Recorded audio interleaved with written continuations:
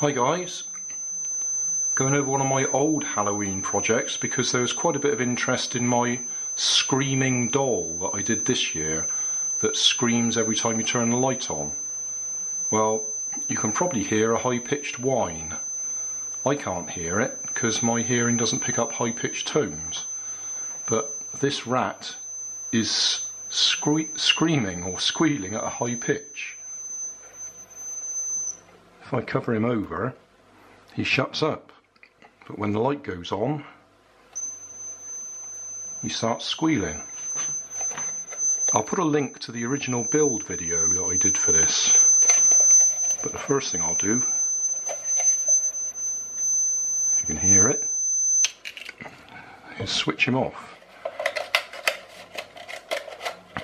What we've got inside is little unit that you normally stick to your reversing light on your car.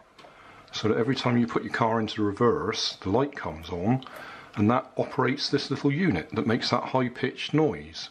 And that's to warn people that you're reversing.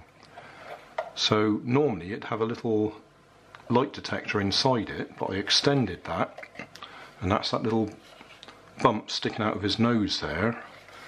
And I also put a couple of LEDs in to run his eyes. So this is very similar to that screaming doll, but instead of having a nice scream, it has that high-pitched tone. And I don't use this one very much because I can't hear it, and quite often it's going off and my wife's complaining because she can hear it and I can't.